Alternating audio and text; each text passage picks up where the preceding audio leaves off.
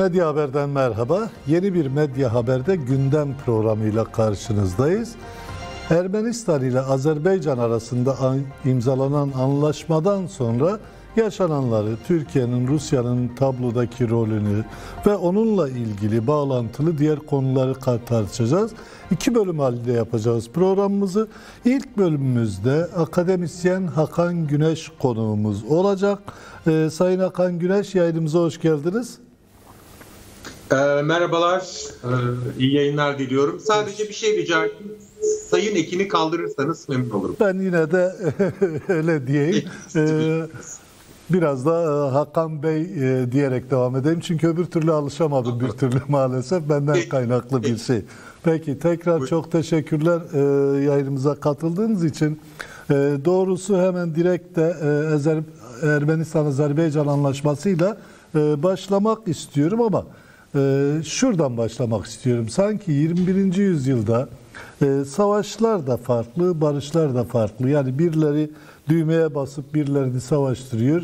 Daha sonrasında ise el düğmeden kalkınca hadi barışın diyorlar. Ee, bilmiyorum sanki Dağlık Karabağ'da da böyle bir şey yaşandı. Bu bağlamda soruyorum yani birbiriyle bağlantılı olarak. Ee, Dağlık Karabağ'da e, yaşanan savaş mıydı? Eğer öyleyse bu yapılan barış mıdır, barıştır denebilir mi? Böyle buradan sıcak bir şekilde başlayalım istiyorum. Evet yani şöyle e, e, insanlar öldü, askerler ve siviller öldü. Bu bir savaş. E, bunu iki tane devlet e, yaptı. E, dolayısıyla devletler arası bir savaş. E, ve bu birilerinin gizli bir planıyla olmadığı süreç apaçık geliyordu. 30 yıldır zaten niye 30 yıldır savaş olmadı diye bile belki sorulabilir. Ortada büyük bir anlaşmazlık vardı. Fakat sizin sorunuzu ben anlıyorum. Çok haklısınız. Yani bir düğmeye basma değil ama süreç açısından bakıldığında çeşitli bölgelerde sadece Kafkasya'da değil, Orta Doğu'da, Kafkasya'da, e, Uzak Asya'da e, genel olarak emperyalist diyebileceğimiz ya da kolonyal emperyal sistem diyebileceğimiz bir yapı her bölgede en az iki aktörü birbirine rakip kılar. Ve bunlar sürekli birbirlerine karşı silahlanır, biri diğerine karşı kullanılır. En az iki bu arada genellikle üç ve dörttür. Aynı şey ülke içinde de geçerlidir. Bir ülkede merkez emperyal ülke en az iki unsura yaslanır. Ee, bunlardan birini seviyor olması, tercih ediyor olması da önemli değildir. Yapısal olarak e, bu tür e, e, birden fazla bir ülke içinde birden fazla güç, bir bölgede birden fazla ülkeye oynamak işte daha çok silah satmak ve daha çok manevra yapmak olanağı sağlar. Bu anlamda Kafkasya'da olup bitenlerde de büyük güçlerin şu ana kadar başta tabii Rusya olmak üzere burada tanzim etmiş oldukları olumsuz halkları karşı karşıya getiren süreç elbette çok önemli e, bir faktördür. E, ama e, yani kesinlikle Bunu bu bir savaş şunun için çok sordum. Araya giriyorum ama evet. e, elbette insanlar öldü savaş. Zaten siz soruyu benim sorduğum biçimde anladınız. O yönde sorun yok. E, sonuç itibariyle savaşı dur. Ama e, sanki işte sizin biraz önce dikkat çektiğiniz o emperyal dönem ee, buradan savaşanların ya da barışanların değil, kendilerinin çıkarlarını tanzim ediyorlar. Yani o tanzim açısından değerlendirdiğimizde ortaya çıkan sonuca nasıl bakabiliriz? Çok e, doğru. Yani anlaşmanın maddelerini herhalde bir parça konuşacağız. Rusya nasıl bir e, yaklaşım getirdi? Hı hı. E, hele bugün Putin'in söylemiş olduğu artık Dağlık Karabağ sorunundan herhalde söz etmeyeceksiniz, edilmeyecek diye bir cümle kurdu. Aynen. E, çok açık bir mesaj o. Şimdi ben e, tabii e, Dağlık Karabağ sorununun kalktığını düşünenlerden değilim. Ama şöyle söyleyelim, önemli bir merhaleye gelindi. Önemli bir aşamaya gelindi. E, geride bıraktığımız 30 yıla hatta uzatırsak 32 yıla ya da ateşkesten itibaren işte 26 yıl 94'ten bu yana diyelim. Evet. Bu o, gelinen aşama daha dengeli bir noktayı sağladı. Ermenistan ve Azerbaycan arasında ve bölgedeki halkın e, durumu açısından demek istiyorum. E, dolayısıyla belirli bir çözüm perspektifi de ilk defa girdi. Yani Rusya çözümsüzlüğün hamisi idi, kurucusu ve hamisi idi. Şimdi kısmi bir çözümün hamisi bana göre. Hı hı. Tabii ki kendi çıkarları çerçevesinde ama şimdi ikisi de bir hamilik. Yani şöyle düşünün. Birisi e, emperyal nüfuzunu savaşla mesela Nazi Almanyası. Hı hı. O da bir burjuva kapitalist devlet. Alman yayılması. E şimdiki Alman devleti nasıl yapıyor? Yumuşak araçlarla. Şimdi bu ikisi de aynı şey değil. Belki sonuçlar açısından Alman hegemonyası yayılıyor. Ama değil. Şimdi oradan bakarsanız Rusya'nın şu ana kadar izlemiş olduğu 9 Kasım'a kadar saat 12.00'a kadar izlediği siyaset bana göre bir çözümsüzlük e, hamiliğiydi. Hı hı. Çözümsüzlüğe dayalı orada varlığını kurma işiydi. Şimdi ise kısmi tam demiyorum. Yani çünkü daha erken. Ama ilk defa o seviyeye atladı çünkü o sürdürülemez yeni bir safhaya geldi. Şimdi bir oyun kuruyor. Ve bir çözüm. Bu çözüm ne demek? Yani Ermeni halkının, Azerbaycan halkının, Ermenistan halkının Azerbaycan halkının ve daha özelde Karabağ bölgesindeki Ermenistan e, pardon Ermeni halkının ne olacağı, o bölgenin statüsünün ne olacağı, durumunun ne olacağı, etrafında işgal edilmiş toprakların ne olacağı konusunda bir çözüm artı Peki. bölge ülkelerinden bu meselede en önemli cümleyi tamamlıyorum. Türkiye'yi de bir karayoluyla bağlamak suretiyle çözüme eklenmediği oldukça taktik, stratejik iyi düşünülmüş bir yarı çözüm sürecine girdi Rusya. Çok ince bir hesap yapılmış orada belli. Özellikle bu konuda o Dağlık Karabağ'daki evet. sınırları da anlamak için sormak istiyorum. O sınırların nasıl değiştiğine dair. Şimdi Ermenistan durumdan memnun değil. Görünen o. Bilmiyorum biz öyle görüyoruz. Azerbaycan kendi evet. savaşın galibi gösteriyor. Yani hele Aliyev'in o konuşması tam bir e, tiyatro gibiydi. E, iki ülke açısından durum ne? Biraz önce de e, herhalde Türkiye açısından söz ettiğiniz Nahçıvan-Laçin koridoru onun üzerinden açılacak yol muydu? Ben öyle algıladım. Burada ne amaçlanıyor?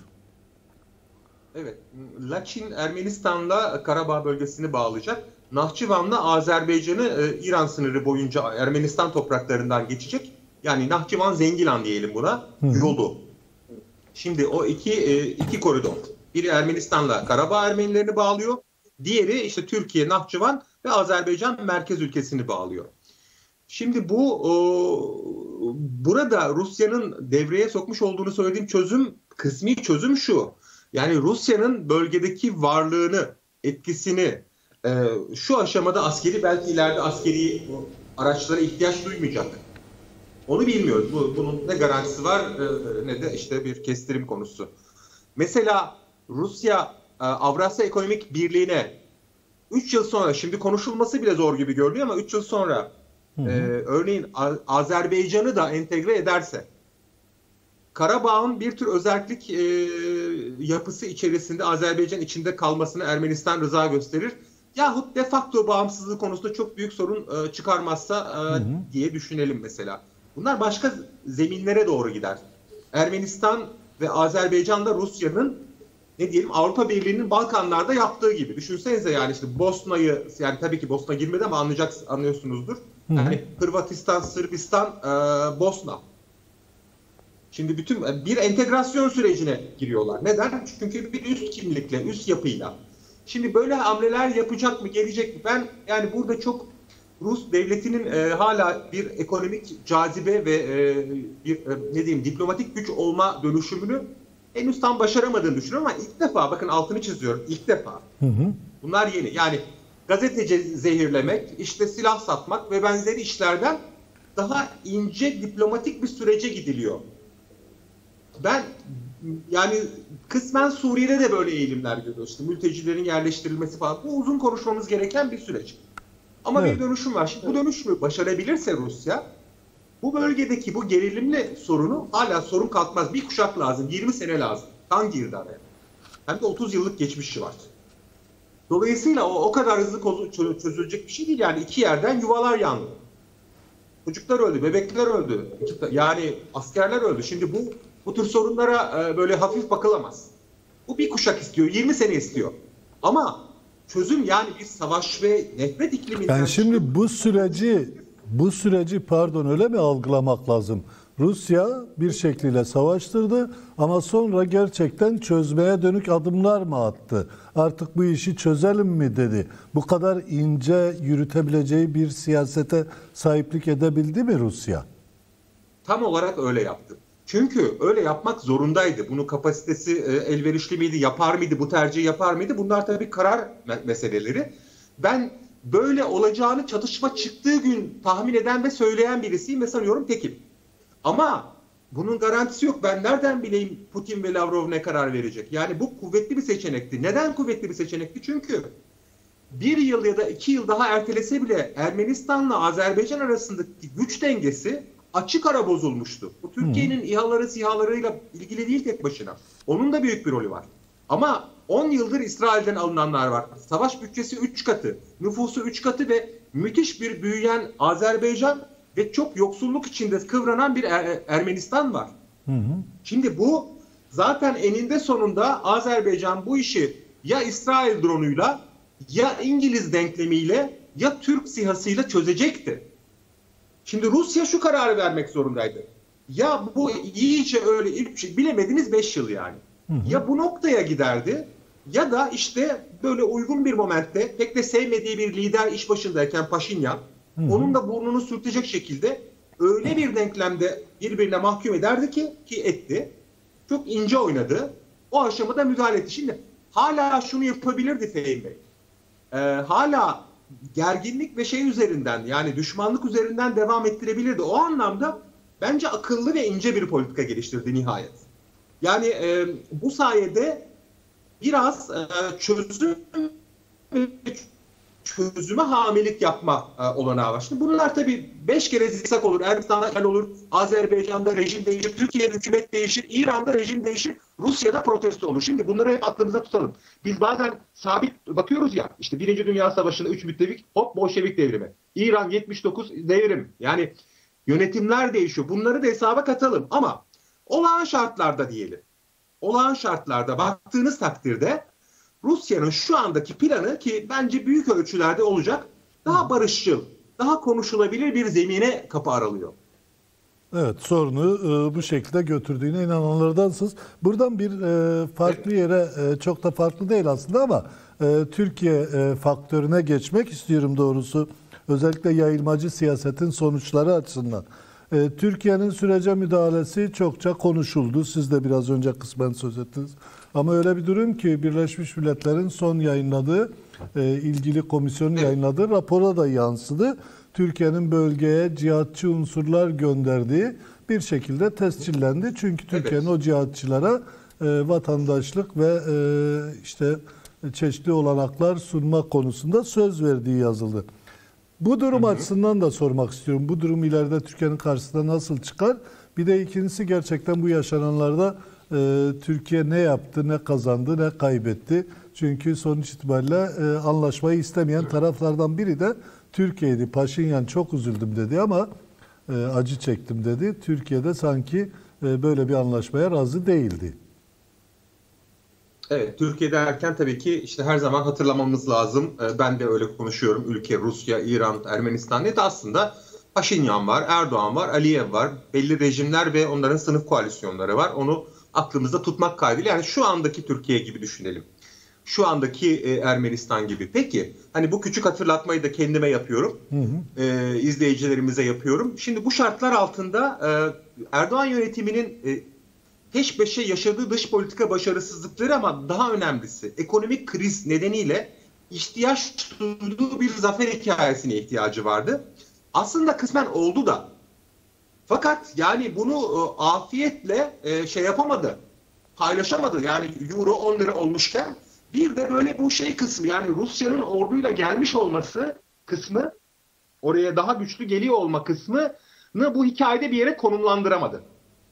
O anlamda e, durumdan memnun değil. Fakat şimdi şunu unutmayalım. E, Türkiye'deki e, bürokrasi, yönetim şeyi bilmiyor mu sizce? e, Rusya'nın e, bir miktar askeri e, ağırlık kaydırması durumunda doğrudan girmesi gerekmiyor. E, yukarıdan bu dronların tepesi yani dronlar Ermenistan'ı zor durumda bırakıyor ya. Evet. Onları da tepeden görebilen iki ülke var. Bakın bu teknik bir konu ama önemli. Bunu bence atlamayalım. İki ülke var, üç yok. Biri Amerika, biri Rusya. Yani Aynen. sizin cüzdanınızdaki parayı sayabilecek ülkelerden bahsediyoruz. Şimdi dolayısıyla bu savaşın dengesini değiştirebilirdi Rusya. Dolayısıyla onu bilen Türkiye'nin durumdan askeri anlamda yani bu kadar yol vermiş olmasına memnun. Ben o yoruma o anlamda katılmıyorum. Yani gayet memnun. Fakat üstüne Rus Yani memnundan kastınız bu Sonra- anlaşmanın bu noktaya gelmesi mi Türkiye açısından memnuniyet verici yoksa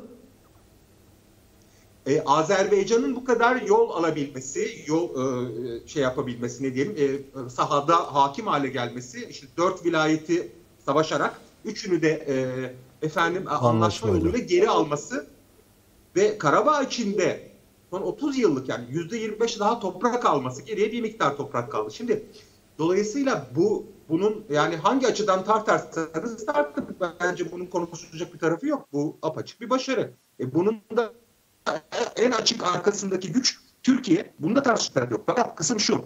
E, bunun üstüne Türkiye'nin e, ne diyelim Türkiye'nin beklentisi yüksek. Daha doğrusu Erdoğan'ın beklentisi yüksekti şu momentte.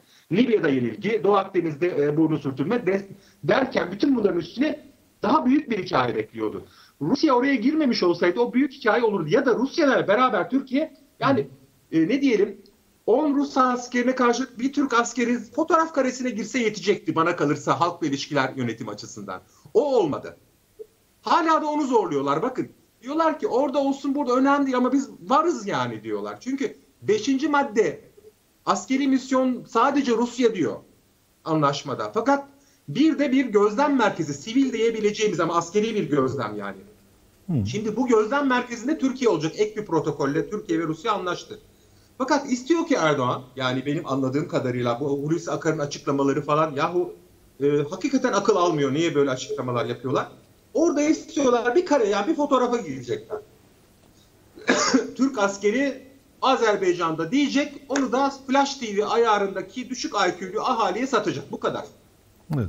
Peki bu e, dedikleriniz e, tartışıldı bir şekilde Rusya'dan da aslında bu konuda hem dışişleri üzerinden hem e, hükümet üzerinden çok net açıklamalar geldi ama bu cihatçı meselesini tekrar sormak istiyorum.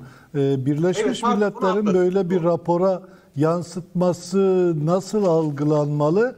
Özellikle önümüzdeki dönemde Türkiye açısından e, sıkıntılı bir sonuca yol açacak bir durum değil mi bu? Şimdi Fehim Bey ben e, raporun e, detaylarını görmedim. E, fakat e, sıkıntılı duruma yar- ya- ya- varacak olsaydı Suriye'de varırdı. Yani çarşaf çarşaf yani e, buradaki cihatçıların üstelik hani işitçi olmadığı da açık.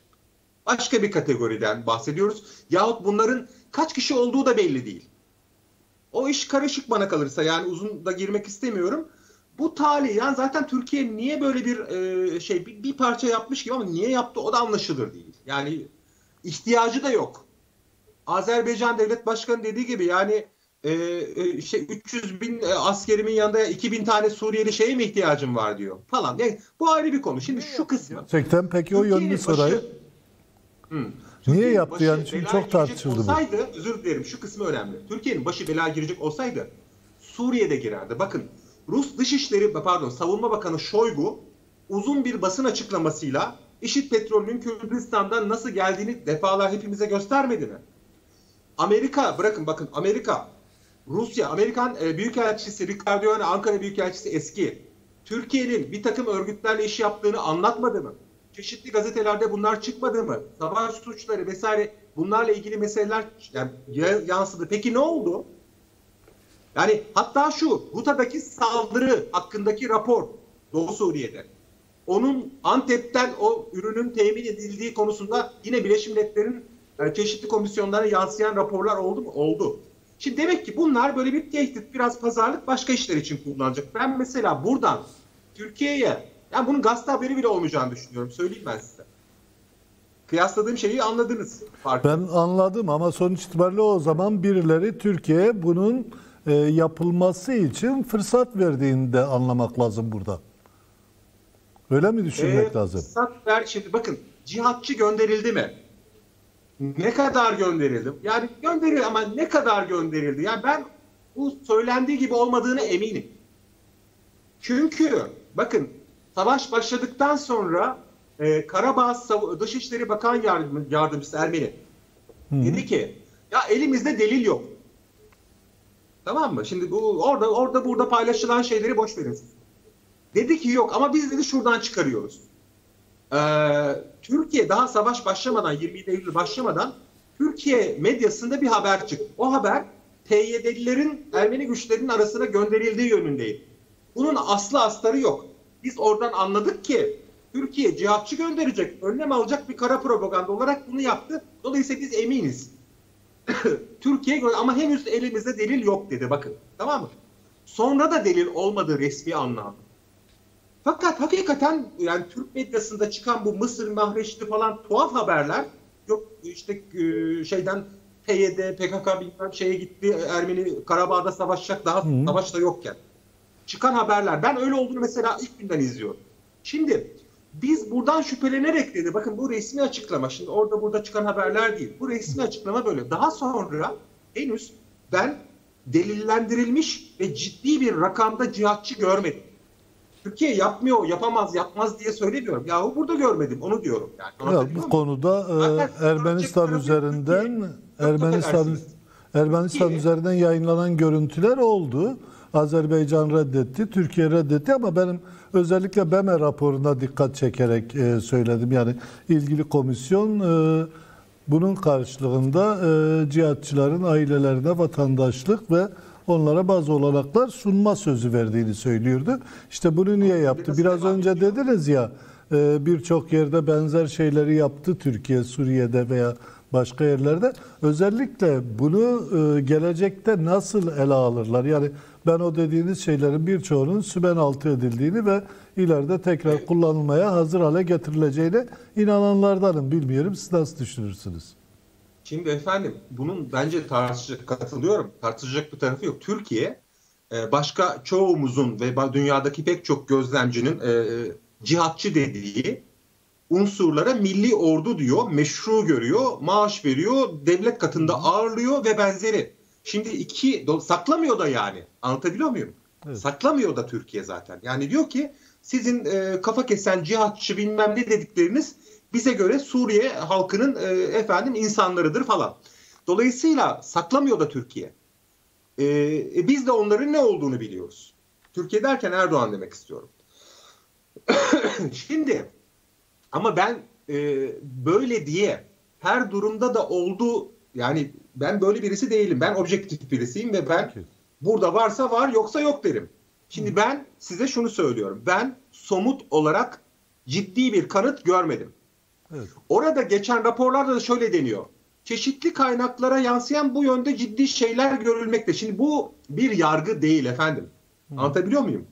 Bir de şunu demek istiyorum. Niye bunları ben şey yapıyorum? Şimdi e, böyle iddiayla söylüyorum. Şundan dolayı bir, her zaman somut veriyle gitmek, konuşmak gerekir. Doğru. Çünkü sizin diğer bütün sözleriniz boşa gider eğer bir yerde e, yanlış bilgiye dayanırsanız. Ben öyle bir şey yapmam. Bir. iki. Buna ihtiyaç yok. Bence bu çok tali bir konu Karabağ meselesinde. Karabağ meselesi kocaman bir mesele. Bunun baş müsebbibi Rusya. Yani buradaki bu halkı iki halkı düşman eden ve bu kadar sürdüren Rusya. Türkiye çok tali. Türkiye bu bölgeye bakmıyordu bile. Daha doğrusu Erdoğan yani Arap dünyası ve İslam dünyasına bakmaktan e, Kafkasya'ya ve Orta Asya'ya yerini unutmuştu. Tamam mı? Şimdi dolayısıyla bunlar biraz e, bu tarihsellik içinde oturtulduğunda ancak e, bence bir yere oturur. Yani bu cihatçılar meselesinin de iki nedenle bir yeterince somut delil olmaması. iki evet. bundan kat ve kat somut delil olan örneklerde dünya kamuoyunun işit karşıtı olduğu bir dönemde bile bir şey yapılmadı. Bu evet. bir vaka. Evet. Peki tam burada o zaman tekrar şu bağlantı üzerinden belki Türkiye'nin rolünü biraz daha konuşalım diye soruyorum. E, mümkünse kısaca diğer Karabağ'ı da tartışmak Tabii. için zaman kalsın istiyorum.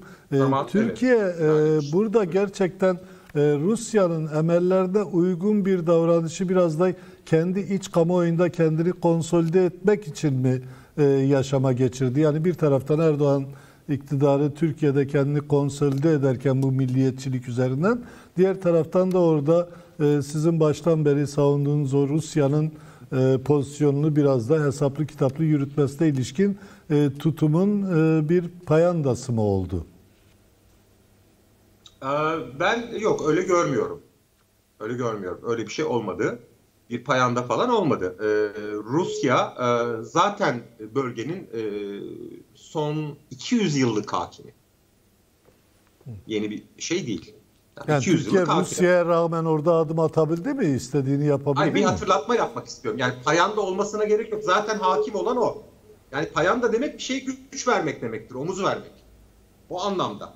Hı hı. Şimdi e, dolayısıyla Rusya'ya destek vermek için yapmadı bu hareketi. Türkiye içeride ihtiyaç duyduğu bir zafer artı şöyle düşünün yani hani Erdoğan Erdoğan ama sonuç olarak bu bir ülke. Bu ülkenin bir takım dış politikaları var. Yarın başka bir parti de gelse bu ülkenin daha ne diyelim işte Kafkasya politikası çerçevesinde Azerbaycan'la daha yakın davranabileceğini tahmin edebilirsiniz. Hı hı. Çok radikal bir e, değişim olmadığı takdirde. Şimdi dolayısıyla e, bu noktada Azerbaycan'la olan ekonomik ilişkileri ve başka faktörler bir araya geldiğinde Azerbaycan'a çok daha fazla bir destek sundu. Daha önce sunduklarından daha fazla bir destek sundu. Ve bunun karşılığında da Türkiye e, bence masadan e, bir şey almadan kalkmış değil. Bence masadan bir şey alarak. Kalktı ben diyorsun. şöyle görmüyorum. Yani sosyal medyada falan tartışma biçimi şöyle. Bakın hani Türkiye kaleye sancak dikecekti ne oldu Rus askeri indi. Ya doğru da şimdi zaten tartışma böyle yürütülmez. Aynen. Yani Türkiye zaten onu yapamazdı. Türkiye ile siz Rusya'yı mı karşılaştırıyorsunuz? Ya böyle bir şey zaten düşünüyor olmak yani aklı peynir ekmekle, mehter marşıyla peynir ekmekle falan e, akıl yemeye gerektirir. Hı. Öyle değil. Zaten sikletler farklı, güçler farklı. Şimdi bu sikletteki bir ülke kendi içinde burada bir yol aldı mı? Aldı. Beklediği kadar oldu mu Ankara'nın? Hayır, çok uzak. Asıl kazanan kim? Rusya. Yani bunları işte yan yana yazdığımızda nasıl bir tablo çıkıyorsa o. Evet. Peki, e, buradan hemen Karabağ'a da geçmek istiyorum. Aslında birbiriyle bağlantılı sonuçlar biraz da ona bağlamak evet. için de e, belki o şekliyle e, sorma gereği duydum ama e, Karabağ'da yaşananların Orta Doğu'daki karşılığı ne olur? Onu özellikle sormak istiyorum. E, birbiriyle kıyaslarsak, e, Türkiye-Rusya ilişkileri bağlamında da özellikle bu e, Suriye'deki ilişkiler nasıl etkilenir? Bundan sonraki dönemde özellikle İdlib çok tartışılıyor. İdlib üzerinden de takip ediyorsunuz. Ee, buna evet. ilişkin ne denebilir? Şimdi her biri için bana 10'ar dakika vermeniz lazım. Yok. Ee, 10 dakikamız kaldı. konuşan biri olduğum halde. 10 dakikamız Dolayısıyla bir tercih kaldı. yapmanızı rica ediyorum sizin. Ben ağırlıkla İdlib meselesi üzerinde değerlendirmenizi isteyeyim o zaman. O kolay. Ee, bir dakikada söyleyeyim. İdlib'den kademe kademe çekiliyor. Bunun yani sürecini Rusya ayarlıyor. Ee, orada tutunabilmesi ve bir bölge oluşturması çok mümkün görünmüyor. Ta ki belki çok sürpriz Biden yönetimi bir önceki efendim şeye stratejiye biraz dönüp Avrupalı müttefiklerini alacak neyse girmeyelim. Yani çok zor bir olasılık. Yeniden kuvvetli bir batı desteğiyle orada bir saha o tutulması e, gelişmediği sürece Türkiye'nin İdlib'de tutulması mümkün değil e, bu sürecin ayarını, e, dengesini e, Rusya zaten yapıyor. Ya o zaman şöyle düşünmek Ama, mümkün değil mi hocam? Yani sonuç itibariyle Türkiye e, Karabağ'da da, Rus Suriye'de de, diğer yerlerde de aslında Rusya ile iletişim içerisine girdikten sonra bir şekliyle Rusya'nın çıkarlarına hizmet etti. Burada Kürt karşıtı politikada da Rusya dan yararlandı. Yani yaptığı tek nokta belki bu. Ama onun ötesinde sanki tamamen Rusya'yı konsolide etti gibi görünüyor. Ee, ben işte öyle e, yani öyle ölçemiyorum. Ölçüm o değil. Eğer hani soruyu şöyle soruyorsanız bu ilişkiden en çok karla kim çıktı? Bir tane hani bir birinci çıkan kim sorusunu sorarsanız onun Rusya olduğu söylenebilir. Ama bence bu bir şey ifade etmez. Yanlış anlamayın. Şu anlamda e zaten büyük ortak birinci çıkacak. Şimdi burada küçük ortak bir şey aldı mı ona bakmak lazım. Aldı. Yani e, şeyi düşünün, e, Suriye Kürt denklemini düşünün. Yani bütün dünya kamuoyunun IŞİD karşıtı ve Kürt dostu olduğu bir momente 30 bin bilmem ne PYD işte olan bir artı 60 bine kadar çıkan bir momente ABD'nin göreceli olarak işte hiçbir zaman siyaseten sahip çıkmadı Amerika. Ve aslında belki de bütün bu denklemin çökmesine evet. neden olan Amerika Birleşik Devletleri'dir, Rusya değil. Ondan sonra e, Rusya ile Türkiye ilişkiyi ABD ile bir noktaya getirip Rusya ile de onay aldıktan sonra e, Kürt sahasını e, Suriye'deki Kürtlerin e, sahasını e, belki bütünüyle değil ama yani esası itibarıyla konsolide etti. Yani oradaki e, şeyi, sahayı. Ve bu şu anda onun değişmesi yönünde de bir durum yok. Onu söyleyebilirim. Dolayısıyla bu Rusya'ya hizmet e, gibi olmadı. Yani Rusya zaten kendine hizmet ediyor. Peki. Anlatabiliyor muyum? Buradan bir şeyle çıktı. Yani sonuçta Türkiye'nin de bir kazancı oldu dersiniz ama e, görünen Yani o tabii çok tabii uzun Türkiye'nin bir mesele. kazancı Derken yani ülkenin özür dilerim. Ülkenin ve halkın bir kazancı olduğu demek istemiyorum. İşte bu güvenlikçi İktidarın, iktidar politikayla açısından. bakanların kendi başarı kriterleri açısından Tabii, tabii. bir başarısı oldu diyorum. Çok Evet, net. iktidar açısından değerlendiriyoruz zaten Evet, yoksa evet. halk açısından farklı Yoksa bunun düşünüyor. hiçbir kazancı yok kimseye. Peki. Ee, son sorum da şu olsun. Bir başka önemli aktör Amerika. Biraz önce çok kısaca değindiniz ama e, buna da kısaca değinmek zorunda kalacağız. Çünkü son 3-5 dakikamız. Türkiye kendi Biden'a göre düzenlemeye başladı. Öyle bir e, dizayn hareketleri gözleniyor. En azından öyle tartışılıyor diyelim. Evet. Peki Erdoğan bu yeni dönemde eğer bu dizayn söz konusu ise e, doğrusu nasıl bir siyaset izler ya da izlemek zorunda kalır? Özellikle bu tartıştığımız konular bağlamında tabii. Yoksa iç siyaset bağlamında kalırsa- demiyorum. Evet. Dünyanın en pragmatik liderlerinden birisiyle karşı karşıya olduğumuz e, herhalde artık anlaşıldı 18 yıl sonra. E, dolayısıyla aynı pragmatizm gösterilecektir. Fakat artık tabii bu dış politikadan çok iç politika ile ilgili. Mesela şimdi çok şaşıracağınız bir yanıt vereceğim. Bana kalırsa süreci Biden'ın ne yapacağı, Erdoğan'ın ne yapacağı değil de Konya İmam Hatip Anadolu Lisesi'ndeki genç kızların ne yapacağı belirleyecek. E, değişiyorlar işte. Açmak Bu kadar lazım. Yani iç politika. Anladınız? Yani içerideki sosyolojik değişim her şeyin tepesinde. Ve hayat oraya akıyor. İran'da da, Rusya'da da, Orta Doğu'da da. Dolayısıyla bu büyük değişime Erdoğan'ın e, daha fazla e, direnmesi mümkün değil. Yani bir takım tek, teknik hazırlıklar yapılacak hem devlet olarak hem hükümet olarak. Ama e, esas Türkiye'nin e, yani Erdoğan'ın zor durumda kalmasına neden olan şey işte Biden ya da Trump'ın ne yaptığından ziyade e, kendisinin iç politikada ne yaptığı sonra da dış politikada ne yaptı. İşte dış politika kısmına kısaca değinirseniz bir değişim nasıl yaşanır ya da değişecek mi? Çünkü çok agresif ve yayılmacı bir siyaset izledi. Şimdi şöyle söyleyelim. e, Biden'ın Trump'ın izlediği siyasetten Erdoğan için önemli başlıklar neler? Suriye'de ne olacak? İran siyaseti ne olacak? İşte Libya'ya uzanacak. Şimdi buralarda çok böyle radikal bir şey. Afganistan. Evet. Bu başlıklarda çok radikal ve önümüzdeki böyle bir yılda Türkiye'nin adapte olamayacağı bir değişim söz konusu olmayacak. Evet. Çok kesin. Ama nerede mesela işte Afganistan daha keskin. Mesela Suudiler için daha keskin şeyler var. O çok açık. Yani Biden'ın bütün yazdıkları ve balkon konuşması dahil bir, bir formatı var. Onu ben detaylıca e, çalıştım. Şimdi orada yani kesin diyebileceğimiz nedir derseniz ben mesela hani bu, bu kadar şey bizi yanıltmak için söylenmedi ve yazılmadıysa eğer Biden tarafından bir tek mesela Suudi Arabistan Trump ilişkileri o seviyede olmayacak. Ha ne olacak yani karşıya alınmayacak ama o kesin. Çin meselesinde yine bir takım şeyler bekleyeceğiz ama bu sözünü ettiğimiz konularda büyük farklılıklar olmayacak.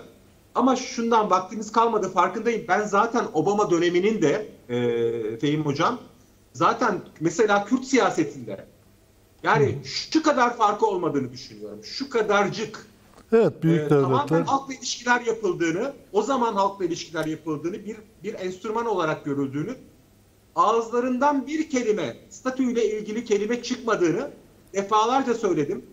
Yine söylüyorum, hatırlayalım. Çünkü insanlar şöyle düşünüyor. Sanki e, orada bir mesela Suriye'de bir Kürdistan olacaktı Amerika'ya göre. Fakat Trump geldi bozdu. Yok. Gram alakası yok. Evet Gram sonuç alakası yok. evet.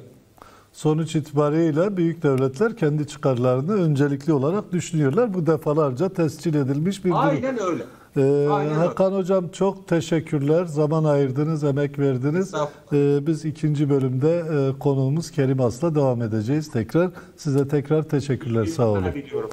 Ee, İyi evet, sev- yayınlar diliyorum. Evet sevgili izleyiciler, birinci bölümü e, Sayın Hakan Güneş'le tamamladık. İkinci bölümde e, Moskova'dan e, akademisyen Doktor Kerim Has ile birlikte olacağız. E, Sayın Kerim Has, hoş geldiniz yayınımıza.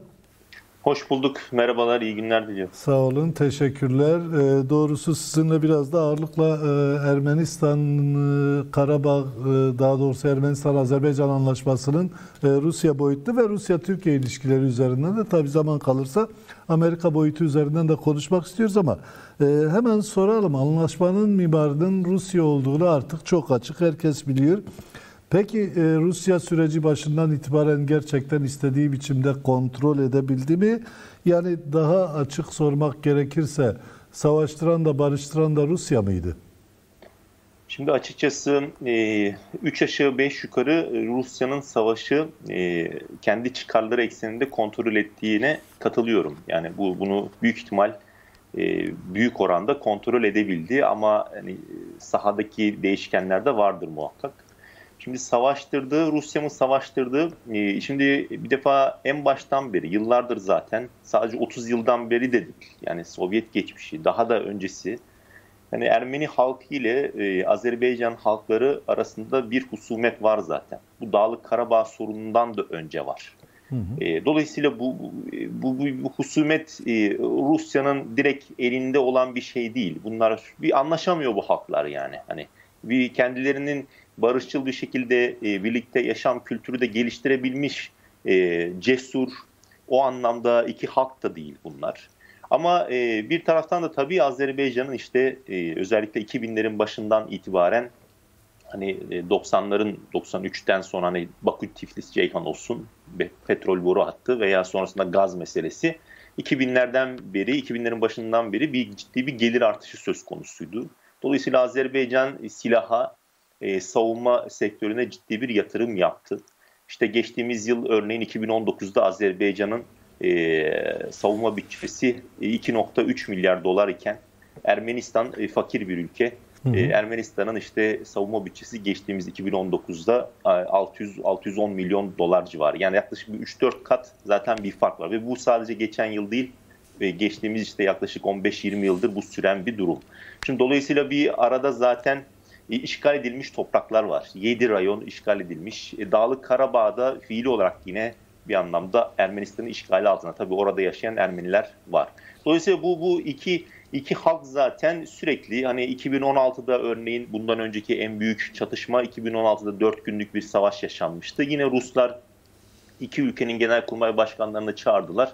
O dönem uçak kriz zamanıydı Türkiye ile de. Yine Türkiye'nin mi arada acaba arkasında var şeklinde bir e, Rusya'da bu durum söz konusuydu, tartışıldı. Ama hatırlarsın 2016 Nisan ayıydı bu. Tam Erdoğan zaten iki ay sonrasında özür diledi. Yani artık Mart ayından sonra Rusya işi de IŞİD dosyalarını Mart 2016 başında 2016 Mart ayı başında sunmuştu. Ondan sonra zaten Erdoğan bir özür sürecine girmişti. Haziranda da özür gelmişti. Dolayısıyla orada 4 gün sonrasında bir ateşkese varabildi Ruslar hızlı bir şekilde. Ama burada zaten eller biraz tetikteydi. Temmuz ayında bir çatışma ile başka bir bölgede, Dağlık Karabağ biraz daha uzak bir bölgede, Tavuz bölgesinde bu denendi. Ee, benim şahsi kanaatim e, çok yani yüzde bir milyon böyle inanıyorum öyle söyleyeyim. Yani te, gözlemlerim de bu Hı-hı. şekilde. Yani e, Ankara'nın Bakü'yü bu savaş, Ankara, Ankara'nın Bakü'yü e, kışkırtması, e, provoke etmesi, e, cesaretlendirmesi artık ne derseniz bunu, buna cesaretlendirmesiyle başladı. E, ama Rusya'nın da buna yol vermesiyle, Moskova'nın da Bakü'ye yol vermesiyle sürdü, devam etti. Tam burada savaş, o zaman... Savaş ve savaş Rusya'nın çizdiği sınırlarda da bitti. Yeni bir statüko kuruldu. Rusya'nın kendi kurallarıyla e, kurulan bir statükodan bahsediyoruz şu dönem. Dolayısıyla savaştırdı mı? Yani zaten eller tetikteydi. Aliyev kadar Paşinyan da milliyetçi. Orada ciddi bir milliyetçi bir iktidar neticede o, o söylem tutturulmuştu. Zaten eller tetikteydi. Bir kıvılcım yetiyordu. Ankara bu desteği verdi Bakü'ye. E, Rusya da buna göz yumdu. Onun kendi çıkarları vardı. Onu belki konuşuruz. Peki madem kazanan Rusya ise burada öyle bir kanaat yaygın. O zaman bu siyasetiyle Rusya Erdoğan'ı da mı e, istediği gibi konsolide etti demek mümkün mü? Ya da e, tersinden bakarsak belki de şöyle düşünülebilir. Yani Türkiye bir NATO üyesi. İşte e, Batı yanlısı e, siyaseti şimdiye kadar Rusya'ya yakın olmaktan daha fazla e, takip etmiş bir ülke. Yani o zaman şöyle mi düşünmüştür? Nasıl olsa bana yar olmayacak. O zaman onu burada değerlendirebildiğim kadar değerlendireyim diye mi düşündü Putin ya da Moskova ya da Rusya? Şimdi bu Kafkasya bölgesi e, Rusya'nın e, kendi anlayış yani kapasitesinden baktığımızda hani bunu ben kabul ederim etmem o başka bir şey ama burayı arka bahçesi olarak gördüğü bir coğrafya. Şimdi bu coğrafyaya Türkiye'ye veya Erdoğan'a, iktidarına e, Suriye'de, Libya'da veya diğer yani eski Sovyet coğrafyası sınırlarının dışında açmak isteyebileceği kadar bir alan e, açmak isteyeceğini zannetmiyorum ben. Bu en baştan bunu söyleyeyim. Zaten şimdi de baktığınızda işte bir gözlem merkezi falan kurulacak. Yani o bir ortak bir merkez ama baktığınız zaman Rusya'nın işte Ankara'ya, Erdoğan iktidarına Azerbaycan'da minimum anlamda, minimum düzeyde, sembolik düzeyde bir görev vermeye ancak razı olabileceğini görüyoruz. İşte Berde de büyük ihtimal kurulacak deniyor. Henüz tam bugün de bir görüşmeler oldu ama sonuca ulaşılmadı. Anlaşılan belki de devam edecek ama Berde rayonu Azerbaycan'ın işte Dağlık Karabağ bölgesinin dışında. Yani Hanken diye Dağlık Karabağ'ın başkentinin 70 kilometre uzakta bir bölge. Orada masa başı zaten bunu Lavrov da söyledi dışarı çıkma misyonu olmayacak, sahada görevleri olmayacak dedi. Bu merkezde belki bir iki şubesi daha olacak ama yani oradan ekranlardan bunlar hep bu ifadeler Rus tarafının direkt resmi yetkililerine ifade. Ekranlardan izleyecekler dedi. Yani işte nasıl diyelim sihaların gözlemi falan olacak. Dolayısıyla ekranlardan dışarı çıkmadan bu şekilde orada 10, 15, 20 neyse artık uzman, askeri uzman bulunacak. Dolayısıyla hani bu bu Karabağ'da e, Erdoğan'ı e, teşvik ettiğini e, Rusya'nın ben o kanaatte değilim bu konsolide etmesine e, Kafkasya'da gerek yok. Yani başka bir bölgede belki olabilir bu konuşulabilir yani Suriye'de olsun Libya'da ama evet, konsolideyi ben gerek... zaten o anlamda kullandım. Yani bir şekilde evet. Başka bölgelerde kendi lehine değerlendirme babında. Ha, o, o başka aynen. Yani orasına kesinlikle katılıyorum. Onu yani oradaki dengenin statükonun bozulması, e, yeni statükonun kurulması noktasında onu kullanabilmek kapasitesini göstermesi. Burası Kafkasya zaten onu gösterebilirdi. Rusya bunu gösterdi. E, yani Türk barış gücü olmayacak, olmayacak. İşte e, koridorlar kuruldu. Laçin koridoru Rusya'nın kontrolüne geçti. E, Nahçıvan koridoru kurulacak dendi ama işte tuhaf onu da mesela Rusya e, FSB güçlerinin, hı hı. istihbarat, e, sınır güçlerinin koruyacağını kabul ettirdi Aliyev'e. Şimdi mesela ben düşünüyorum iki gündür, üç gündür. Ya Aliyev şunu diyemez miydi? Madem Aliyev yakındı e, Erdoğan'a, şu konu farklı bir konu. Ben bu meselenin savaşla çözülebileceği kanaatinde değilim. Ama hani velev ki bu, bu yola çıktınız Ankara, Aliyev çıktınız bu yola. Aliyev bu anlaşma imzalanırken şunu Rusya'ya söyleyebilirdi. Rus barış gücü geçen kelimeleri veya Rus FSB istihbarat kelimeleri geçen kelimeleri çıkarıp diyecekti ki mesela Aliyev zaten önceden defalarca söylemişti. Ermenilere, Ermeni nüfusa Dağlık Karabağ'da şu an ellerinde kalan topraklarda biz e, özellik vereceğiz. En geniş özelliği tanıyoruz. Bunu dünya kamuoyuna da Erdoğan'la birlikte açıklayabilirdi. E, ve aynı şekilde e, Nahçıvan koridoru niye Rusya'nın kontrolünde olsun? Nasıl Laçin koridorunu Bakü kontrol edecek idiyse mesela bunu diyebilirdi Aliyev aynı şekilde. Bakü Laçin koridorunu açıp Ermenistan ile Dağlık Karabağ Ermenileri arasındaki güvenliği biz sağlayacağız da diyebilirdi. Çünkü bu, bu, bunu söyle şu an çünkü karşısında artık Ruslar olacak. Ruslarla anlaşması çok daha zor bu konuda. Yani 30 yıl 60 sene anlaşamaz onlarla. Yani e, Dağlık Karabağ bölgesini kontrolüne alabilmesi e, iki ay öncesine göre bence Azerbaycan'ın çok daha azaldı. Onu söyleyeyim ben. Yani Rus hı hı. barış gücü girdi. O, o şimdi kalır. Oradan ne zaman çıkar? Anca dengeler kendi lehine olacağını kabul ederse, onu ikna olursa ya Abhazya modeli mi olur, Güney Ossetya gibi onların bağımsızlıklarını mı tanır? Bu olabilir mi? Olabilir. Yani göreceğiz onu. Veya Transdniester gibi 30 yıldır orada e, Rus barış gücü duruyor aynı şekilde. Ukraynalı askerlerle birlikte mesela Ruslar orada işbirliği içindeler yani. Hani Ukrayna ile ilişkiler bu kadar gergin olmasına rağmen bunu göreceğiz. Ama kastettiğim benim şu Aliyev şunu diyebilir. Ermenilere böyle bir özellik Nahçıvan'da da mesela e, diyebilirdi ki e, bu, bu koridor niye Rusların kontrolünde olsun? E zaten biz onlara Laçin koridorunu açıyoruz. Onlar da bize Ermenistan'la biz anlaşıp e, onlar da bize Nahçıvan koridorunu açsın diyebilir. Bunu demedi. Yani demek istediğim burada Aliyev ile Moskova arasındaki ilişkiler zaten Aliyev ile Erdoğan arasındaki ilişkilerden kat kat daha güçlü. Bunu belirteyim yani. Dolayısıyla şimdi e, hani sorunuza e, işte konsolide Erdoğan'ın konsolide olması iktidarın konsolide Erdoğan her halükarda iktidarını konsolide edebiliyor zaten. Yani Fransa'da Macron çıkıyor İslamcı terör diyor. Erdoğan konsolide edebiliyor. Erdoğan e, İdlib'de onlarca Türk askeri hayatını kaybediyor. Erdoğan iktidarını pekiştirebiliyor içeride. Şehit demek Erdoğan için şehit demek, Erdoğan iktidarı için şehit demek iktidarına bir anlamda maalesef üzücü bu ama tırnak içerisinde e, benzin mahiyetinde görev görüyor. Dolayısıyla iktidarını konsolide edebilmesi için Erdoğan'ın e, Rusya'nın Kafkasya'da alan açmasına gerek e, yani bu böyle bir denklem doğrudan bir denkleme değil ama dediğiniz gibi onu kullanabiliyor. Erdoğan'ın orada e, faaliyetleri e, veya hani bu statikoyu bozucu bir adım atması. Hı hı. E, bununla birlikte de burada tabii e, şunu belirtmem lazım. İşte Erdoğan, bu cihatçılar meselesi. İki husus var burada ön plana çıkan. Bu hibrit savaş mı yürütülüyor e, meselesi. Yani Erdoğan'ın arkasında, iktidarın, Ankara'daki iktidarın arkasında özellikle İngiltere'nin olup olmadığı meselesi çok fazla bir şekilde e, Rusya'da konuşuluyor, tartışılıyor. Bu geçen Rus istihbarat başkanı, dış istihbarat başkanı e, Sergey Narishkin'e de direkt e, Richard Moore işte 15 Temmuz'da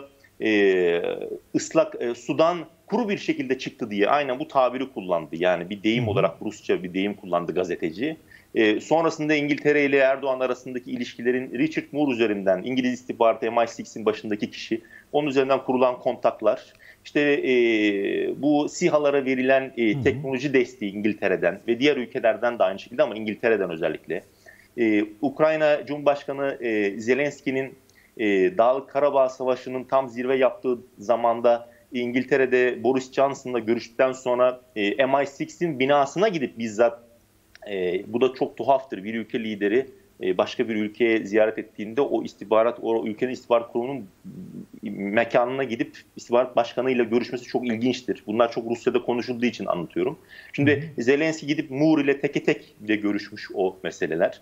Şimdi bu e, orada görüştüğü daha iki gün önce ateşkes imzalanır imzalanmaz MI6'in başındaki ismin Richard Moore'un Ankara'da sarayda e, Kalın'la görüşüldüğü söylendi ama bence yüzde bir milyon muhtemelen Erdoğan'la da görüşülmüştür, görüşmüştür.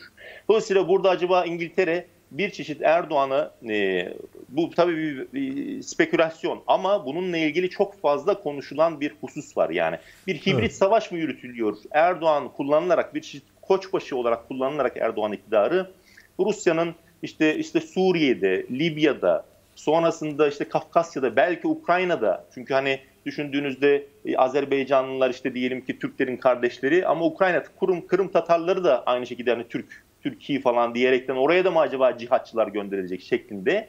Ya bu acaba hani Rusya'nın işte bu arka bahçesine e, dahil olarak Erdoğan'ın tabiri caizse bu e, yine bir Rus güzel benzetme yapmıştı Rus uzman. Yani motosikletin arkasına arka koltuğuna oturarak e, sürücü mahallindeki Rusya'yı bir şekilde onu rahatsız edici hani o sürücü mahalline tırmanmaya çalışacağı böyle bir politika ve bunu böyle cihatçılar ve sihalar üzerinden izleniyor olması bu Hı-hı. işte e, Rusya'da daha fazla e, dediğim gibi yani ille de konsolide etmeye veya Erdoğan iktidarını güçlendirme gibi bir hedef gütmesinin önünde engellerden bir tanesi Moskova açısından Peki. yani. Ee, buradan e, aslında bu Karabağ'la birlikte, Dağlık Karabağ'la ilişkili anlaşmayla birlikte ortaya çıkan e, İdlib siyasetini de e, konuşmak istiyorum evet. sizinle.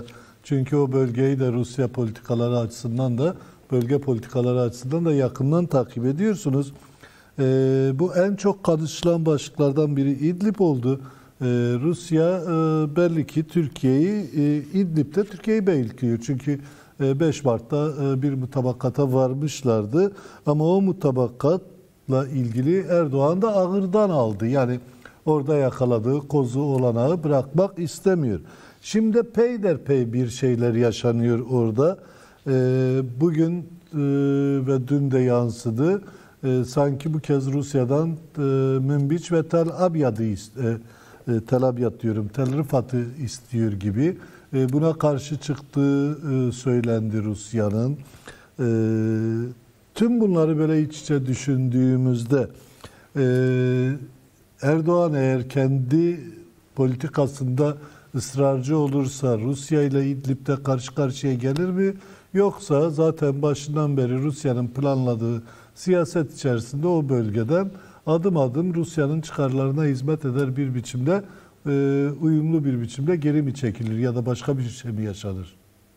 Şimdi bu Tel Rifat e, Membiç meselesi zannediyorum Temmuz ayıydı.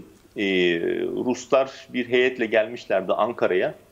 e, İdlib'deki rejim tarafından, Suriye ordusu güçleri tarafından kuşatılmış yaklaşık 7-8 gözlem noktası var. Belki bunun sayısı artmış da olabilir zaman içerisinde ama benim bildiğim herhalde bir 7-8 tane minimum olması lazım. Geçtiğimiz bir yıldan beri e, bu gözlem noktaları zaten Suriye ordusu tarafından, rejim güçleri tarafından kuşatılmış durumda. Ve bunların şu an itibariyle hiçbir fonksiyonları yok. Yani Rusları, Rus'u Suri, Suriye'den mi koruyacaksınız? Yani bir anlamı yok. Orada lojistik destekler zaten Rus askerlerinin gözetiminde yapılıyordu. Dolayısıyla bunlara karşı bunları Ruslar kapatın diye Türkiye'ye zaten e, e, bir yıldan fazla süredir bunu söylüyorlardı.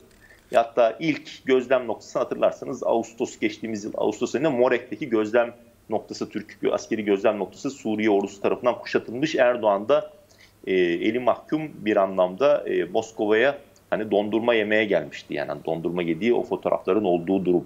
E, yani e, dolayısıyla burada bir şey vardı. Türkiye'den zaten kapatılmasını istiyordu Rusya. Araya giriyorum Özellikle... ama kusura bakmayın. E, yüzün Tabii. üstünde asker öldü. O evet. noktaları kapatmaya karar vermek için. Çünkü Türkiye ısrarcı olunca Rusya bir şekliyle diş gösterdi.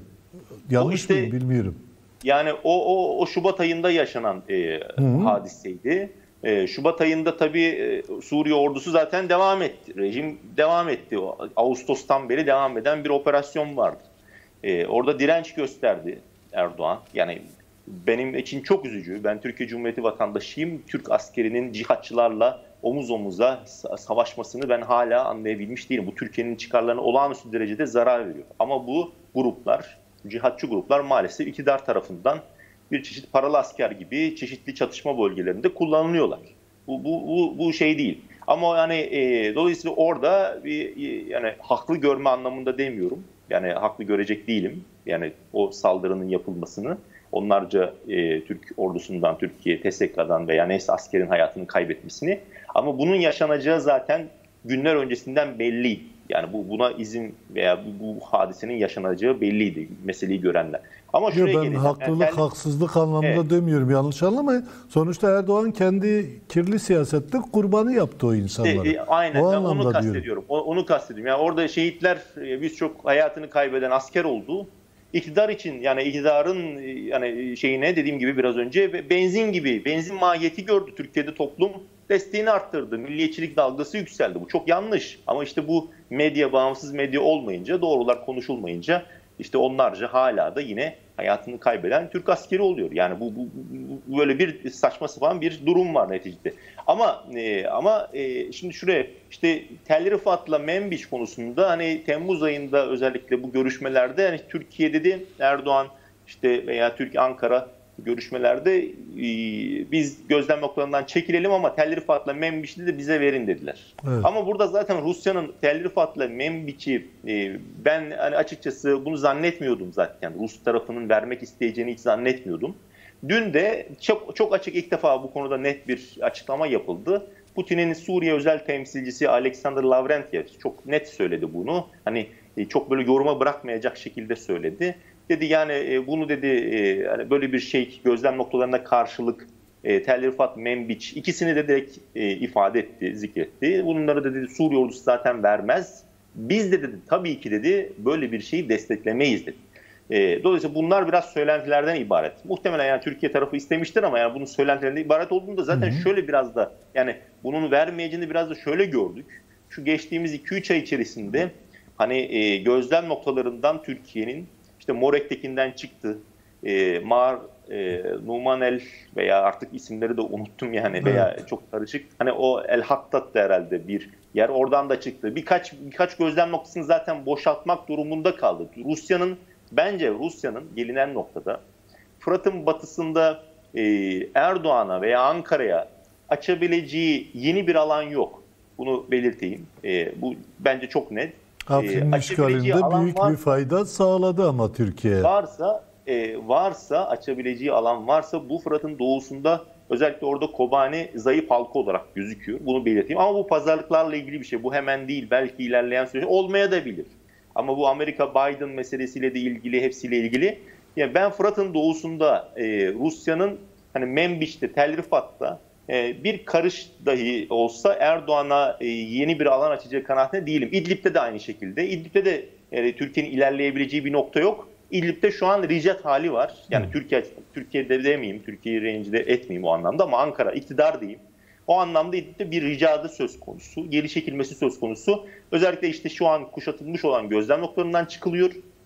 E, ilerleyen süreçte bu tabii işte 8-8,5 ay geçti. E, yani 5 Mart mutabakatından sonra. Muhtemel ki biraz daha bekleyecektir Ruslar yeni bir operasyon için. E, ama İdlib'te de meselenin bu şekilde de uzun vadede ben kalacağı kanaatinde hiç değilim. Yani bu şekilde bırakmaz onu Ruslar. Hı. Yani İdlib'de o küçülen, küçülen şey. Bu nedir? İşte S-400'lerde ikinci parti satacaktır, onu bekliyordur. E, Türkiye ile gaz anlaşmalarının bir kısmı, önemli bir kısmı 2021 yılında BOTAŞ ile Gazprom arasında yenilenmesi gerekiyor. Onu bekliyordur. Başka başka böyle bir şeyler bekliyordur. Yani bekliyor zaten. O anlamda biraz onlarla ilgili Biden'ın izleyeceği politika, onun Erdoğan'a yansıması bunlarla ilgili biraz İdlib'deki operasyonun e, gidişatı söz konusu olur. Biden'ı e, konuşalım ama dediğiniz bir şey dikkatimi çektiği için söylüyorum, soruyorum arada. Özellikle e, Türkiye'nin Erdoğan iktidarının Fırat'ın doğusuna yönelmesi. Bu bir şekliyle e, ABD'ye karşı e, Türkiye'yi kendi yanında kullanabilme eğilimi açısından ortaya çıkacak bir siyaset evet. gibi mi duruyor Rusya'da? Bunu yapar evet. mı ya da Rusya?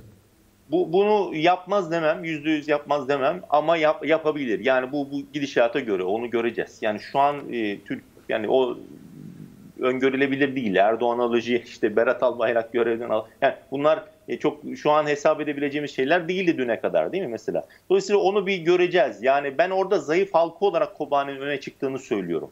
Yani ille de Ruslar buna izin verir demiyorum. E, zayıf halkı olarak öne. Eğer bir pazarlık söz konusu olursa ciddi olarak e, o, orada o olur. Membiç, Tellirfat değil de bence Fırat'ın doğusu şey olur. Orada çünkü dediğiniz husus için... zaten Amerika ile ilişkilerin gerilmesi bağlamında belki böyle bir şey. Şunun için soruyorum çünkü Afrin'i aynen bu tarzda evet. e, Rusya e, Türkiye deyim yerindeyse altın tepsi evet. içerisinde sundu yani. O deneyim var doğrusu Kürtler açısından öyle bir yaklaşım var. Burada bir e, yeni e, başlığa da gelelim istiyorum. ABD ile Rusya arasında denge kurarak hep Türkiye adım adım ilerledi. Çatışsa da sonuçta geri adım dağıtsa e, zaman zaman onların dümen suyunda da gitse hep denge izlediğini gördük. Ee, ABD'de ilginçtir. Yani mesela Dağlık Karabağ'da deyim yerindeyse Rusya'nın rolünü oynamasına hiç ses çıkarmadı. Yani bir şekliyle diplomatik e, uyumun ötesine gitmedi. E, Erdoğan'a da çok müdahil olmadı. Yani dışarıdan izlediğim böyle bilmiyorum. E, bu tabi denge siyaseti güden Erdoğan'ın da işte yaradı gibi. Peki Biden döneminde özellikle e, Ocak 20'den sonra e, o döneme hazırlanmaya şimdiden başlayan Erdoğan e, bu denge siyasetinde önümüzdeki dönem nasıl bir yol izler? O yola ilişkin ne dersiniz? E, şimdiye kadar sürdürdüğü özellikle Trump döneminde sürdürdüğü gibi rahat sürdürebilir mi? Şimdi e, biraz uzun. Benim o ilk baştakine biraz cevap vereyim önce. Sonra diğer kalan kısmına. Yani e, dediğiniz doğru ABD çok rol alamadı. Yani bunda en büyük faktör hani hepimiz zannediyorum onu görmüşüzdür. İşte seçimler olayı. Yani bir seçim süreci Trump zaten başından aşkın durum falan. Yani bir Biden geldi sokaklar karışacak mı karışmayacak mı? Büyük ihtimal yani Amerika'nın orada adım atamamasının en büyük nedenlerinden birisi seçim sürecidir. Zaten bence Ankara ile Bakü arası yani bu kışkırtma veya Bakü'yü cesaretlendirme meselesinin biraz da yani savaşın 27 Eylül'de başlatılmasının nedenlerinden biri de yine bu. Yani uygun bir konjöktür olarak hesap edildi orası. Ee, şimdi diğer yandan ise Amerika zaten sahada Fransa ile birlikte Minsk grubu eş başkanı Rusya üçü birlikte ama zaten sahada Amerika ve Fransa asker bulunduran ülkeler değil askeri olarak, siyasi olarak o kadar ağırlıkları olan ülkeler değil Rusya kadar. Burada 30 e, yıldır devam eden müzakerelerde, 28 yıldır Minsk grubunda devam eden müzakerelerde şu kural vardı. Üçlünün anlaştığı, Washington'ın, Moskova'nın ve Paris'in anlaştığı şu kural vardı. Eğer bir Dağlık Karabağ bölgesine bir barış gücü gönderilecekse bu uluslararası bir barış gücü olmak durumunda. Minsk grubu eş başkanlarının tek başlarına gönderecekleri bir barış gücü olmamak zorunda. Bu konuda anlaşmışlardı bu üç ülke. Ve e, Azerbaycan ile Ermenistan'ın komşu ülkelerinden herhangi birinin de barış gücü olmamaları gerekiyor. Bu konuda anlaşmışlardı ama bu evet. statüko bozuldu. Dolayısıyla bunu bunu nasıl bozdu? İşte Rusya o oyun planı içerisinde bunu bozabildi. Yani şu şeyi alınmasına izin verdi biraz Azerbaycan'a. O zaten psikolojik bir yıkım yarattı Ermenistan ordusunda, Ermenistan'da. Askeri hezimette bu psikolojik yıkımı takip etti. Şimdi diğer sorunuzun diğer kısmına gelince bu denge Özellikle ABD ile eder. ilgili Evet, e. ABD ile Rusya Erdoğan- arasındaki dengeyle Evet. ilgili. Yani Erdoğan'ın denge oyunu büyük ya benim şahsi kanaatim yani bu, bunu e, Türkiye'deki politikayı çok öngöremiyoruz da E, ama bir defa Biden'ın gelmesiyle zaten taşlar bir yerinde oynuyor Türkiye'de işte görüyoruz kaç gündür 3-5 gündür hani Berat Albayrak'ın bir e, Halkbank davasında olan işte Murat Uysallar Merkez Bankası Başkanı eski hani bu görevden alınmaları bir şekilde söylemin değişmesi, hukuk reformu, bilmem e, ekonomik reform falan hani böyle bir uluslararası sermayeye çağrıda bulunma. Yani bence bir şekilde e, Azerbe e, özür dilerim Ermi, e, Erdoğan zaten çok e, pragmatik, çok e, kapasitesi bu anlamda hani e, yani kıvraklığı anlamında çok olağanüstü bir e, şeye sahip. E, yani bir kapasiteye sahip. E, bu bu bu bu virajı alabilir gibi geliyor ben açık söyleyeyim. E, yani burada iktidarın ömrünü e, bence bir süre daha ciddi anlamda uzatabilir. Şimdi Erdoğan iki dilden anlıyor.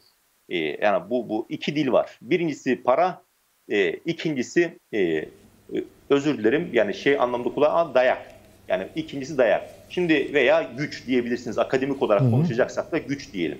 Ee, yani bu para yani Erdoğan ve ailesine Barış Pınarı Harekatı'nda örneğin ne oldu? Ee, Amerikan Senatosu Erdoğan ve ailesinin mal varlığı dendi. Görüşmek durumunda kaldı Mike Pence'le ve Hı hı. operasyon durdu. Ee, ama İdlib'de e, işte hani Rusya'nın veya işte Suriye ordusunun bir saldırısı oldu. Güç olunca Erdoğan durdu. Ha, bu şimdi e, para ve dayak.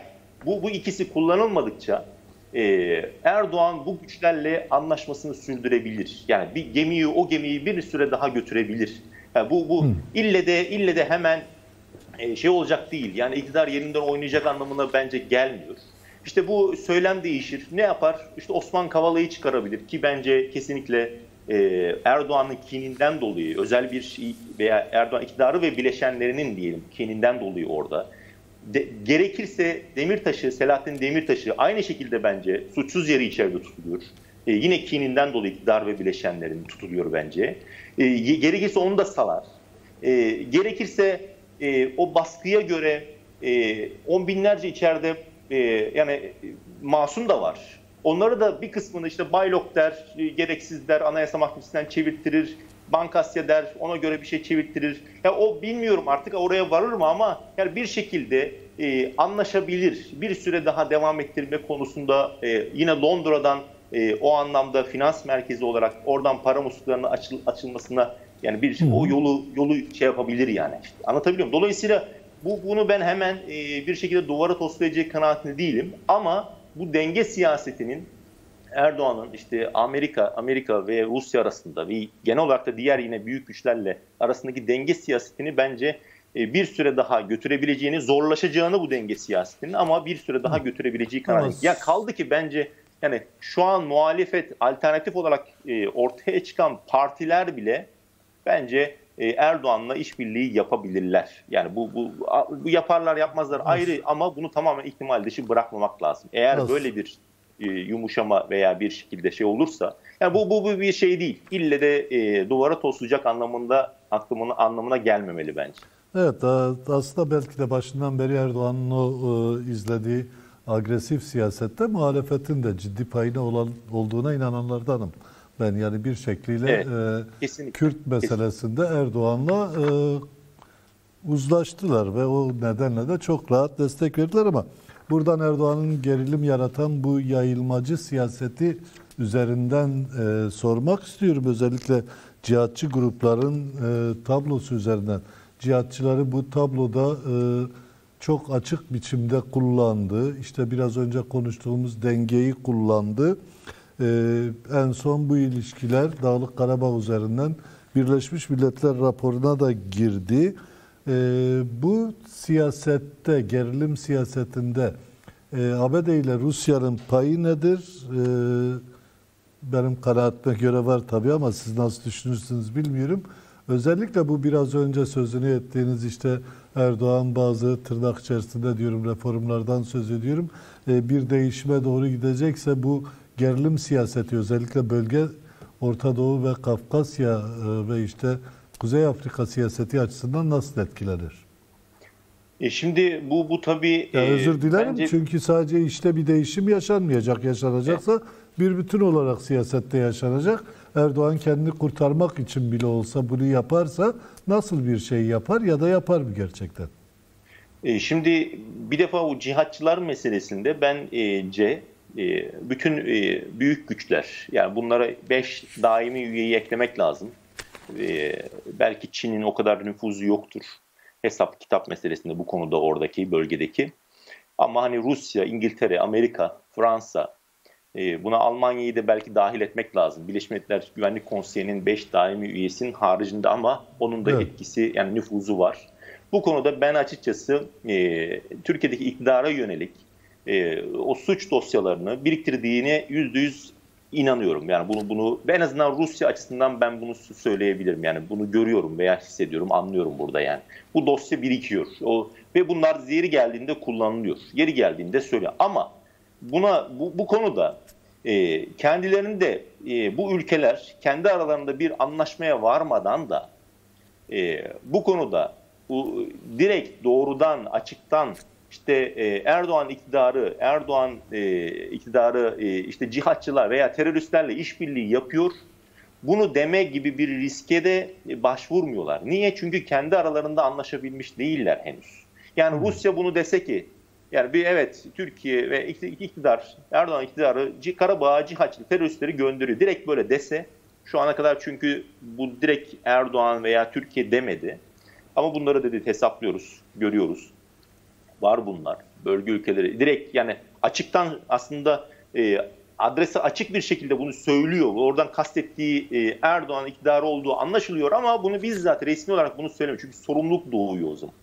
Niye? E, bunu ülkedeki çıkarları var çünkü Türkiye ve bölgedeki çıkarlarını riske atmamak için. Ama bu ülkeler kendi aralarında anlaşırlarsa eğer iktidar, Türkiye'deki iktidar artık bölge içinde çekilmez bir e, duruma e, dönüşürse yani işte bunlar hani konuşuluyor 40'lı yıllarda Almanya Hitler meselesi artık bölgeye dünya istikrarına bir anlamda hani bir çeşit çok büyük zarar vermeye başlayınca artık zaten bütün ülkeler bir anlamda toplandı ve bu konuda dur dediler. Dolayısıyla bu mesele şimdi biraz e, bu büyük güçlerin kendi aralarındaki anlaşmalarla kendi aralarını kendilerini ikna etmeleriyle ilgili bir durum.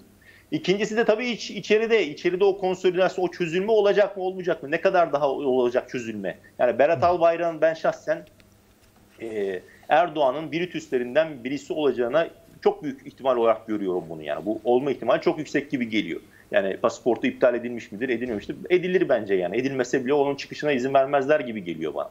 Ama e, yani dediğim gibi bu iç ve dış dengelerinin bir şekilde konsensüsüyle olabilecek bir durum. E, diğer yandan sorunuzun diğer e, onu ikinci kısmı unuttum son e, bir şey söylemiştiniz ama Hı. özellikle e, gerilim yaratan siyasette ABD-Rusya payı ve ABD-Rusya evet. payında e, işte geri adım atacaksa Türkiye e, nasıl Erdoğan ya da kendini kurtarmak için dahi olsa demiş. Mümkünse kısaca sorursanız bir tek küçük yani, sorum da olacak. Yani yani benim şahsi kanaatim bu gemiyi biraz daha götürebilir. Bu dengeyi biraz daha ilerletecektir. İşte e, demir taşsa demir taşı çıkartılacaktır. Yani e, hani e, ama bunu ille de bu sembolik olur. Yani hukuk ülke hukukun geleceğini ben düşünmüyorum. Yani bu saatten sonra hukuk gelse zaten kendileri ilk Ayrıca bu ve bileşenleri yargılanmak durumunda. Buna değil ama sembolik olarak adımlar atabilir. Ee, ama bu, bu bu şekilde devam eder gibi. Yani bir, bir süre sonra daha asıl e, yani fren veya kopar veya biraz daha vakit var gibi geliyor açıkçası. Çünkü Peki, toplum bu... hala yine yüksek oranda yine ciddi oranda destek vermeye devam ediyor. Ee, evet. Bu dediğiniz aslında çok uzun bir başlık. Yani başlı evet. başına tartışılması gerekir doğrusu. Biraz da sınırı e, Ermenistan, Karabağ ve Orta Doğu'yla e, sınırlı tutunca e, pek o başlığa girmek istemedim ama son bir dakikamız, bir iki dakikamız e, küçük bir soruyla e, bitirmek istiyorum. E, Putin, Erdoğan, e, Trump aslında bu dönemde e, gerilim siyaseti, kavga, işte bir şekliyle çıkarları bu kadar açık dillendirip siyaset yürütmekte çok e, müthiş bir uyum gösterdiler. Yani o uyumu tırnak içerisinde kullansak da sonuçta binlerce, on binlerce insanın ölümüne de neden olan bir uyum vardı. E, savaştırma ve barıştırma konusunda da her ikisini tırnak içerisinde kullanarak diyorum. Bu dönemden sonra e, bu siyasette bir değişim yaşanır mı? Yani işte bu e, uyum yerini farklı dengelere bırakır mı? Çünkü Biden'ın gelişi biraz da böyle değerlendirildi evet. dünyada. Yani e, katılıyorum. Bu bu değişim e, yoruyor çünkü Erdoğan tamam uyum var, anlaşabiliyor. İşte Rusya bir şekilde yanında tutmaya çalışıyor ama e, bence benim gözlemlemim e, Erdoğan Rusya'yı çok yoruyor. Yani İdlib'te yoruyor. Tamam veriyor Suriye'yi, Suriye'nin asıl şeyi e, ev sahibi oldu Rusya. Ama Erdoğan Rusya'yı çok yoruyor. İdlib'de yoruyor, Kürtler meselesinde yoruyor, Esad meselesinde yoruyor, yani cihatçılar meselesinde yoruyor. İşte Libya'da aynı şekilde Ruslar e, büyük oran doğru. Saraç'la da ilişkileri var ama Hafter'in kazanmasını istiyorlardı o, o dönem. Yani şu an tabii Hafter'le de ilişkiler limoni oldu. Ama Hafter'i durdurdu. E, Trablus'u bir şekilde Sarrac'a e, Türkiye tutabildi orada. Rusya'yı yordu yani tabiri caizse. Ateşkes oldu. En rahatsız olan dünyada bir Erdoğan var. Yani Libya'daki ateşkesten. Hani en son söylemişti zaten bunun çok uzun süreceğini zannetmiyorum. Ben, sürüyor hala ama hani bir rahatsızlığını belirtti. Hı. İşte Kıbrıs meselesi e, doğru Rusya'nın Akdeniz'e daha fazla yerleşmesine bence biraz yol açıyor. Ama Rusya'yı Yunanistan'la Türkiye arasında bir ikileme de itiyor veya bu deniz e, sahaları arasında. İşte mesela şimdi Karabağ meselesi yine Rusya'yı yoruyor yani ateşkesin uzatıl uza, uzadı daha geç varıldı bu ateşkeste. İşte Ukrayna'da belki bu olabilecek. Böyle bir durum da olabilir yani bunu Ruslar tartışıyor. Dolayısıyla bu ilişkilerin Erdoğan-Putin ilişkilerinin veya Erdoğan-Rusya ilişkilerinin ben e, umarım olmaz ama benim şahsi kanal öngörüm e, ilerleyen süreçte bir şekilde çok ciddi şekilde uçak krizinden daha e, sert bir şekilde duvara toslayabilme, toslama ihtimali çok yüksek olduğunu düşünüyorum açıkçası. Belki de Erdoğan bunları gördüğü için e, reform... Sınırları falan... biliyor, sınırlarla zorluyor. O sınırı geçmemeye çalışıyor ama bu çok sonsuza kadar sürebilecek bir şey değil. Çünkü artık evet. eski Sovyet coğrafyasına geldi. Rusya'nın arka bahçelerinde dolaşıyor. Belki Kırgızistan'a, belki Orta Asya'ya da ilerleyen süreçte e, oraya da hani bilmiyorum dalmak dalacak veya oraya da girmeye çalışacak bir şekilde ama bunlar işte şey değil. Yani o bir istihap haddi var yani bir anlamda. Bir yerde bu kopabilir. Kopma ihtimali bence çok yüksek. Öyle söyleyeyim. Peki. Ee, çok teşekkürler Kerim Bey. Zaman ayırdınız, yayınımıza katıldınız, görüşlerinizi bizimle paylaştınız. Sağ olun. Ee, sevgili izleyiciler, bir medya haberde gündemin daha sonuna geldik. Ee, iki konuğumuzla, iki akademisyen konuğumuzla hem e, Karabağ'da yaşananları hem Orta Doğu'da yaşananları konuştuk. Gelecek medya haberlerde gündemde buluşmak dileğiyle. Hoşçakalın.